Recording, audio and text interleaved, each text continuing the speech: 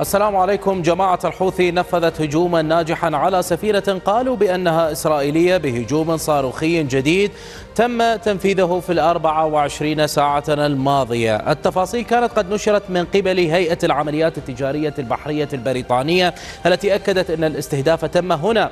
في خليج عدن بالإضافة إلى تقرير مفصل من قبل العميد يحيى سريع وهو المتحدث باسم القوات المسلحة اليمنية عن جماعة الحوثي بالإضافة إلى تفاصيل صدرت اليوم أيضا من القيادة المركزية الأمريكية. السفينة المستهدفة هي MSC Sky 2 هذه السفينة كما تحدثنا جماعة الحوثي قالت بأنها سفينة إسرائيلية ولكن من خلال التسجيلات الخاصة بهذه السفينة ومن خلال ما ذكرته القيادة المركزية الأمريكية ومن خلال أيضا ما ذكرته نوم ريدن وهي إحدى أهم الباحثين في معهد واشنطن كانت قد ذكرت أو ذكرت كل هذه التفاصيل بأن هذه السفينة في حقيقة الأمر ليست مملوكة من قبل إسرائيل كما تتحدث جماعة الحوثي. هذه السفينة تحمل العلم اللايبيري وهي مملوكة من قبل سويسرا ومن شركة سويسرية معروفة وهي MSC هذه هي الشركة السويسرية التي تمتلك هذه السفينة وهي المالك الحالي وكذلك لم يكن بالماضي مثلا على سبيل المثال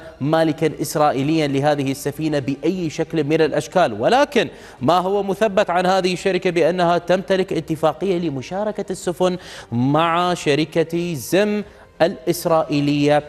للشحن. وعلى ما يبدو بأن هذا هو الأمر الذي جعل جماعة الحوثي أن تعتبر كل شيء قادم من ال MSC السويسرية سيعتبرونه إسرائيليا وسيقومون باستهدافه بشكل مباشر وهو الذي يفسر الاستهداف الذي جاء على هذه السفينة على الرغم من أن التفاصيل المطروحة حول هذه السفينة بأنها لم تكن آه، مؤجرة من قبل الجانب الإسرائيلي أو تستخدم من قبل الجانب الإسرائيلي لكن الاتفاقية التي تحدثنا عنها هي التي جعلت جماعة الحوثي أن تعتبر أي سفينة تحمل الاسم MSC تعتبره إسرائيليا أو تعتبر السفينة إسرائيلية بشكل مباشر. بشكل عام هذه السفينة كانت قادمة من سنغافورة متجهة إلى جيبوتي. بمعنى آخر بأن هذه السفينة كانت قد وصلت إلى هذه المنطقة متجهة إلى جيبوتي هنا وجماعة الحوثي كانت قد رصدت هذه السفينة في هذه المنطقة وجدت ورأت التسجيلات الخاصة بها وقاموا باستهدافها بحسب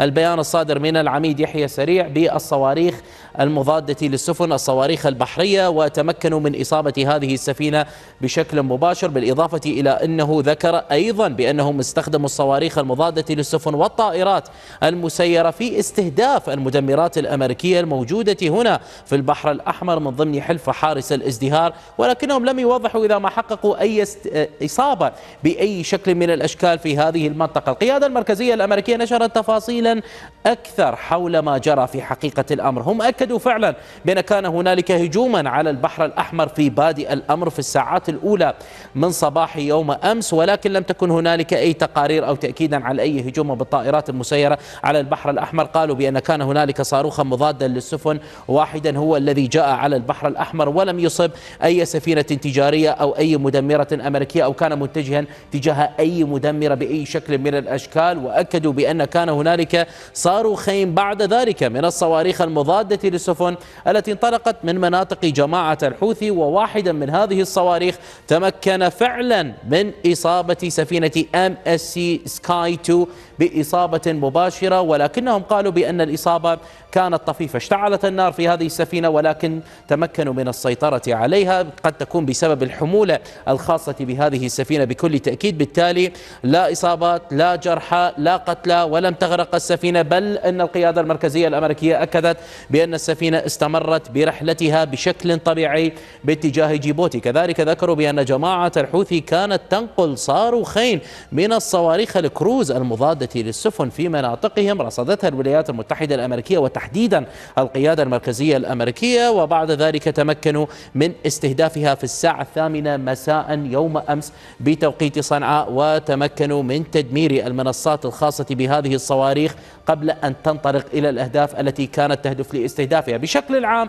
نحن نرى ثلاثة استهدافات من جماعة الحوثي يوم أمس منها إصابة لهذه السفينة التي نتحدث عنها في خليج عدن. يوضح أن جماعة الحوثي الحوثي لا زالت تحاصر مضيق باب المندب لا زالت لديها الإمكانيات في تحقيق مثل هذه الاستهدافات. بالتالي الأهداف الاستراتيجية لجماعة الحوثي لا زالت حاضرة وبقوة وهذا يعتبر تصعيدا كبيرا. لماذا؟ لأنه يأتي بعد أحداث كبيرة نفذتها جماعة الحوثي في المنطقة بشكل عام فبعد عملية استهدافهم للسفينة البريطانية روبي مار بصاروخ بشكل ناجح. وهذه السفينة طبعا غرقت بشكل جزئي في بادئ الأمر في المياه. في خليج عدن تحديدا بالقرب من مضيق باب المندب وانتشر السماد والمواد أو المواد الأسمدة الكيماوية كانت قد انتشرت في المياه وتسببت بأضرار بيئية خطيرة. طبعا بسبب غرقها بهذه الطريقة امتلأت بالماء وفي نهاية المطاف غرقت بالكامل بهذا الشكل. روبي مار البريطانية وهذا يعتبر تصعيدا كبيرا الكل كان يعتقد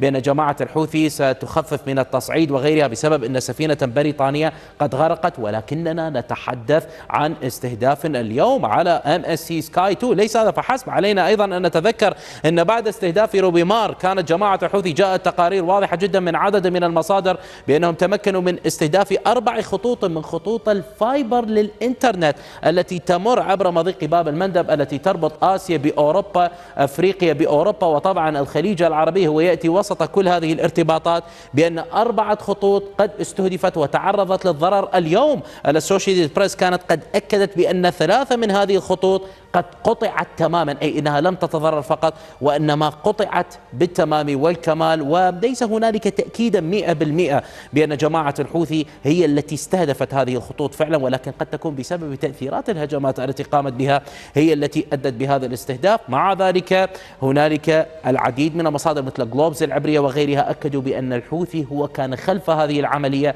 بدعم مباشر من قبل الجانب الإيراني. جماعة الحوثي لم تتوقف عند هذا الحد ابدا لا ابدا. اليوم كانت هنالك تصريحات قادمة من قبل وزير الاتصالات وتقنية المعلومات الذي قال ببساطة بأن على السفن الحصول على تصريح من هيئة الشؤون البحرية قبل دخول المياه اليمنية. بمعنى آخر بأن أي سفينة بدون أي تصريح ستستهدف. بغض النظر إن كانت أمريكية أو بريطانية أو إسرائيلية أو هندية أو غيرها كلها ستستهدف. الكل يجب أن يطلب تصريحا من جماعة الحوثي لكي يمروا بسلام في هذه المنطقة. بالتالي جماعة الحوثي تظهر الكثير والكثير من القوة في هذه المنطقة. ليس هذا أيضا فحسب بل أنهم مستمرون في التحشيد وفي جمع المزيد من المقاتلين من المتطوعين من أجل مواجهة خصومهم المحليين. إن كانوا الحكومة الشرعية أو إن كان المجلس الانتقالي الجنوبي فعلى سبيل المثال كان هنالك استعراضا لمقاتلين جدد في محافظة إب. هنا تحشيد العديد والعديد من المقاتلين كما تلاحظون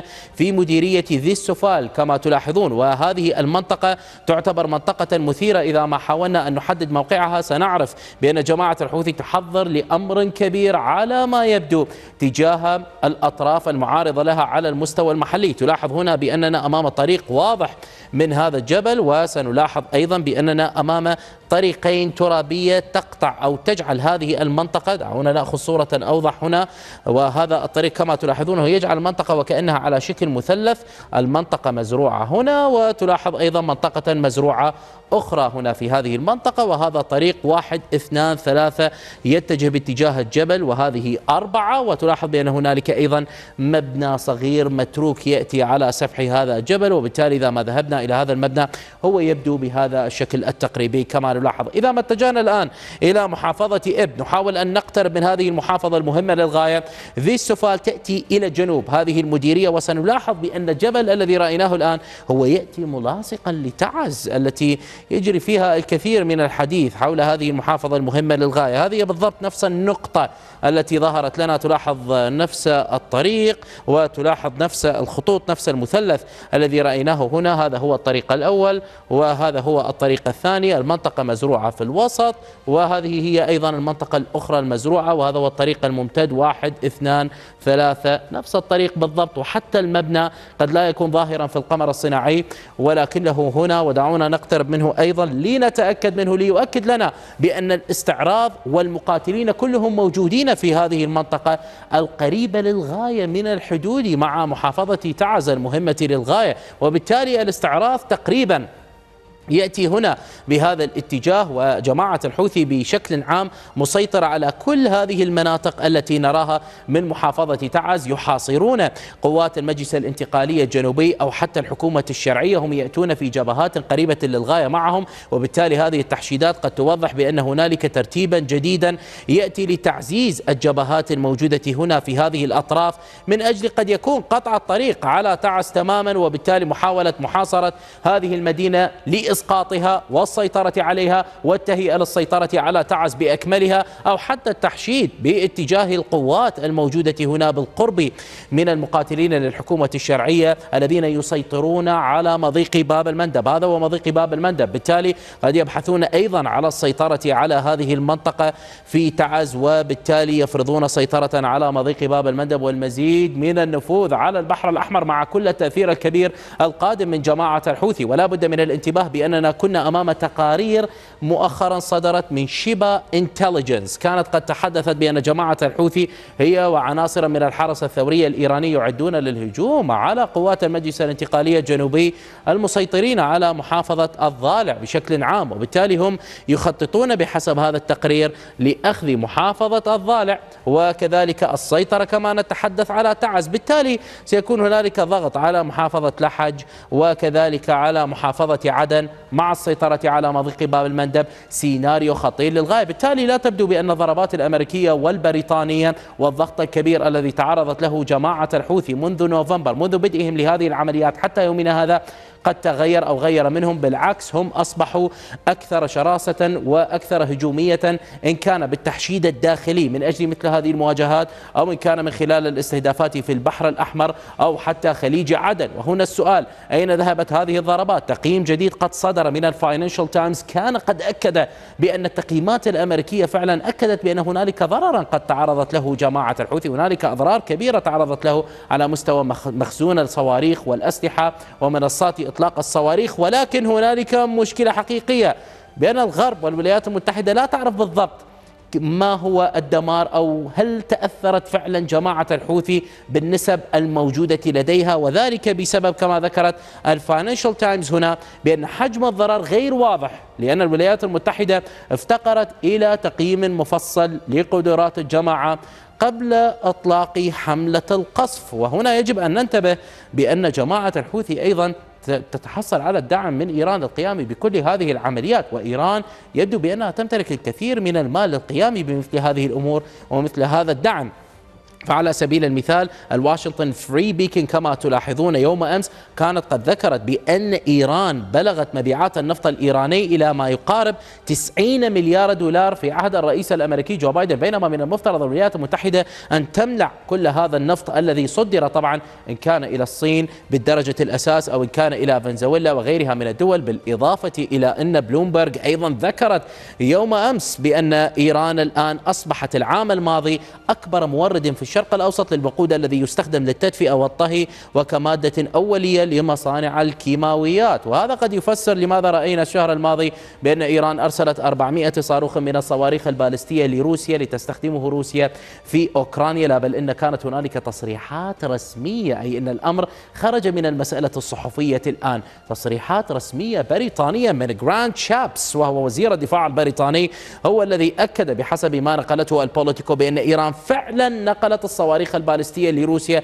لتستخدم ضد أوكرانيا رغم النفي الإيراني بأنهم قاموا بهذه العملية. بالتالي أنت ترى الآن بأن إيران الكثير من الأموال لديها من الصادرات النفطية صادرات الوقود صادرات الغاز لا ضغوط أمريكية نهائيا عليهم وهذا هو الذي انعكس في نهاية المطاف إلى استمرارها لدعمها. لجماعة الحوثي لمحاصرة مضيق باب المندب وكذلك أيضا للاستمرار بدعم فصائلها في المنطقة ودعم من أيضا؟ دعم حزب الله اللبناني الذي هنالك ويواجه تصعيدا كبيرا من الجانب الإسرائيلي وهو يصعد أيضا على العمق الإسرائيلي وهنالك مخاطر بأن قد بأننا قد نكون أمام حرب حقيقية في جنوب لبنان ولم يعد الأمر عبارة عن كلام فقط بل أن التصعيد وصل إلى نقاط خطيرة في ظل أيضا أن هدنة رمضان في قطاع غزة لا يبدو بأنها بخير ويبدو بأنها انهارت بسبب أن حماس بطبيعة الحال تريد بأن تكون الهدنة هي نهاية الحرب من أجل إطلاق سراح جميع الرهائن ولكن إسرائيل تريد ستة أسابيع وبالتالي لا مصلحة للفصائل الفلسطينية أو حماس بالذهاب إلى هذه الاتفاقية. وإيران كما تحدثنا بسبب هذه القدرات ترسل الصواريخ لروسيا لتستخدم في أوكرانيا. بالتالي ترى إيران بأنها موجودة في كل المنطقة تقاتل في كل المنطقة دون وجود أي عواقب عليها وبالتالي الأمور لا تبدو بخير خاصة أن اندلعت الحرب في لبنان. ويبدو بأن جماعة الحوثي تستغل الكثير مما يجري في المنطقة لتصعد وقد تصعد حتى بشكل أكبر في الفترة القادمة.